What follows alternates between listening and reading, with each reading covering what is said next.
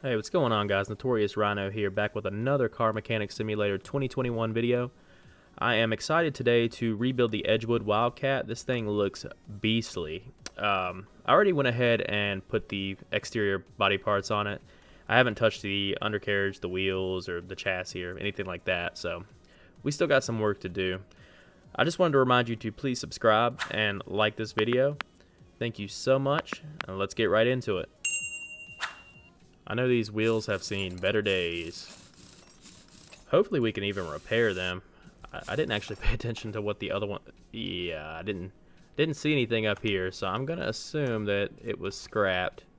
I can't remember exactly where I got this from, whether it was the junkyard or the barn. Definitely wasn't an auction, but that, that has me worried because... Yeah. um, no, well, that's with both parts together, so that's not the wheels separate from the, the rims, or the wheels separate from the tires. So that might not be good when we take it apart. We will see. Yeah, this had to have been a junkyard find because this thing is looking pretty rough. I'm not gonna lie to you about it. It, it has seen better days, that's for sure. So I'm still in the process of taking this apart. I haven't made it very far. Oh no.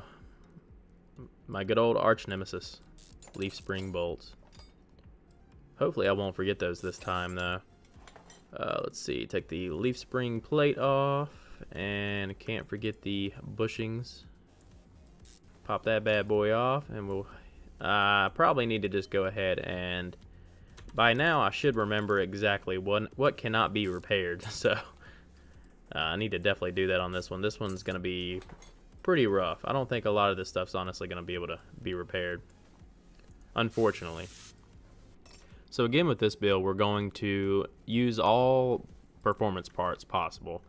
Uh, again, I don't really have a lot of scrap parts. I only have 309 since the last episode, which I'm kind of recording this quite a bit ahead of time. So, um, you know, I have to go out of town this coming up weekend. So I actually need to go ahead and make another video. So I, I won't have time if anybody does decide to comment. I won't have time to look at it. Um, so I'm just gonna kind of I'm gonna kind of roll with this one and uh, you know just just get a just get a build done for you all and see what we can do with it. Um, but I am gonna be using all performance parts, so you know that'll be pretty cool. Because I'm not entirely sure I haven't really worked a lot with the Wildcat, so I don't remember if it has... I don't actually remember what the horsepower even is in this thing. I need to actually take a look at that. Because now I'm curious. Uh... 200, 248.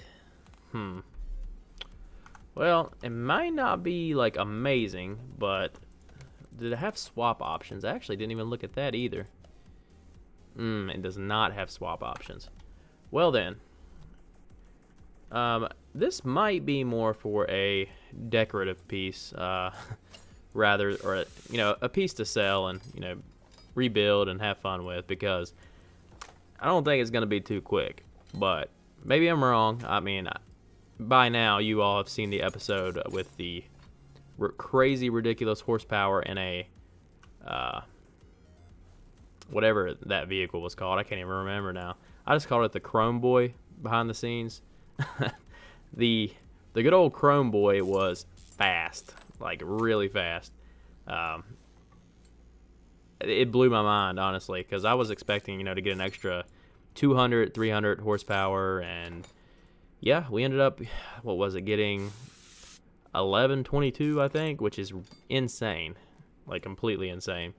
So don't think we're going to get there with this, but, uh, you know, we did gain about, what was it?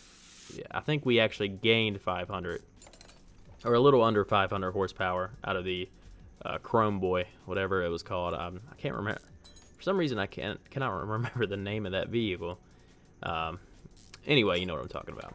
So, we might be able to, you know, get an extra three, four, 500 just with performance parts, not using upgrades. So, you know, that'd be, that'd be pretty cool if we could do that.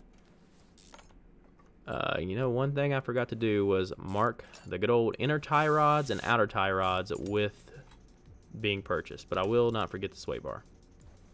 We're already making good progress on this thing. Um, I haven't really been working on it that long, and we're we're doing pretty good because it doesn't actually take as much as I thought to do this Wildcat, which is always good. Um, means quicker time to see how much power we can get and how fast we can get this thing, which it's not gonna be like the last video, but you know, it's still it's still fun nonetheless. Yeah, we already have pretty much the whole chassis and everything put together, so we will come back while we're doing the engine. Alright, so we're starting the engine. Oh, and we have the whole engine to do. Go ahead and start throwing this stuff together, and that's not gonna work.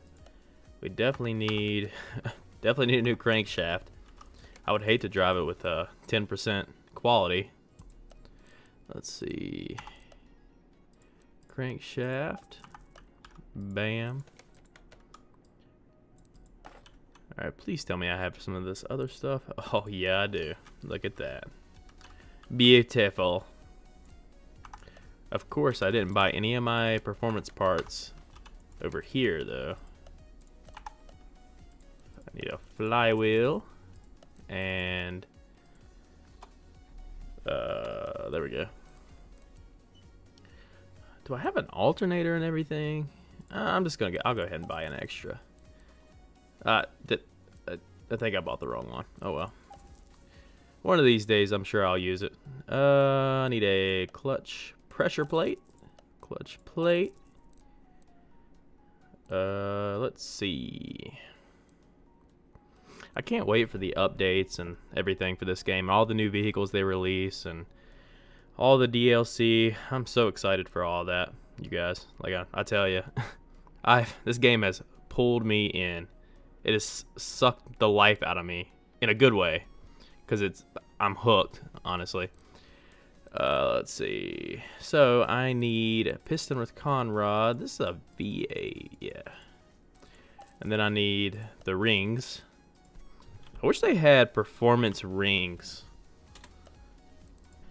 You guys ever wondered why these things are so expensive? 40 credits a piece, and you need 8 of these, so you need to buy the, the piston with conrod, the rings, and the rod caps, which are 40 credits. Luckily, I have a 15% discount, so that helps.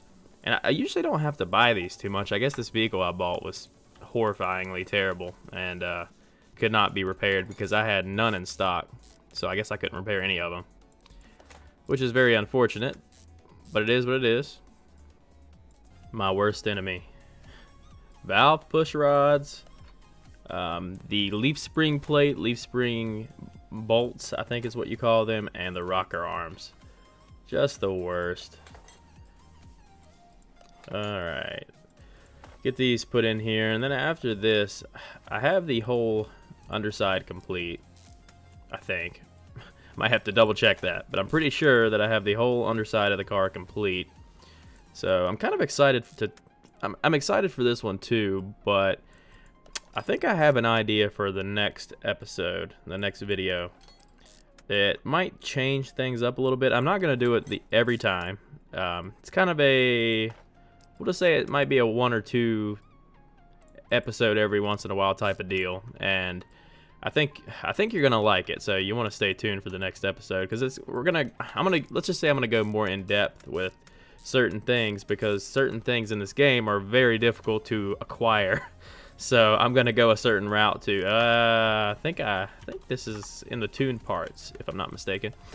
Certain things are hard to acquire. We'll put it that way. So I'm gonna I'm gonna figure out a way around certain things for the purposes of to make a good video. And then, you know, obviously I'm gonna keep doing this regular Car Mechanic 2021 series and everything, but I'm gonna try something. We'll just put it that way. Alright, let's get this carburetor and round air filter on, which I know is also in the tune shop. Alright guys, we are finally done with this thing. Uh, except for testing it, of course. So, I think the factory horsepower, we're going to look at it again in just a second, but I think the factory horsepower is like 248 horsepower. So I'm really curious to check Dyno out real fast and see exactly what we're working with. So I present you uh, black and yellow for the um, for the Edgewood Wildcat. That is what it's called. I forgot for a second. Um, the profit is looking pretty good. Again, I'm with all the performance parts in this thing. I spent quite a bit of money, but I'm still making some sort of profit for sure. I only bought it for 5000 so uh, it was definitely a junker of a find. But, yep, 248 horsepower is the factory power. Uh, unfortunately, there was no, you know, engine swap available for it, so we just uh, performance parted this thing out completely. Uh, got slicks on, of course. Um, I think it looks pretty good. I'm not usually a fan of yellow. Uh, black and yellow, you know, a little bit of black mixed in with the yellow is not too bad usually, but not usually a fan of yellow, but this it's looking pretty good. I, I like it. So let's check out Dyno and see where we get with this uh, new horsepower. All right, so not not exactly what I was expecting. I was expect, expecting a, maybe a hundred or so more horsepower, but 200 extra horsepower is pretty pretty daggone good. So um, we will take that as a win, I suppose. Um, let's see. Alright, I'm going to mess around with this stuff um, like usual, and we're going to get it out on the speed track and possibly the racetrack, and we'll, we'll see how it works. Alright guys, moment of truth. Um, let's see how fast this thing can go. You know, it's not definitely not going to be like the uh, the good old Chrome Boy we had uh, last episode, but it should have some some uh, kick behind it. So let's give it a shot. All right. Okay. I feel you. I feel you. Oh, I'm trying to keep it straight. Okay. Okay. We're in fourth. We, I don't think we have too much more room to go. Ooh! Uh, oh, oh, I'm rolling. So, 222. Okay. So, for the amount of horsepower, I mean, it's a lot of horsepower. I mean, it is a video game, so I'm not entirely sure how accurate everything is and, you know, the gear ratio setups and all that, how, how all that plays out into it. But, so it seems like, it seems like we're still doing pretty good, though, with this thing. I'm, I'm happy how it turned out. Um, definitely for a for a real life build and real life miles per hour, um, that would be you know pretty insane. But uh, yeah, for this game, I'm I'm pretty happy with it. So I'm glad I'm glad we built this thing. Let's go ahead and take her back to the garage. Alright guys, that's going to be it for this episode. I do want to remind you, uh, again, to tune in to next episode because we're going to do things a little bit differently than we have been doing it. Um, I'm not I'm going to keep this series going. It's just we're going to be doing things a little bit differently with the Car Mechanic Simulator 2021 series. Um, we're going to do a separate little thing. So make sure you stay tuned for that. Thank you so much for watching. I'm Notorious Rhino, and I'll see you next time.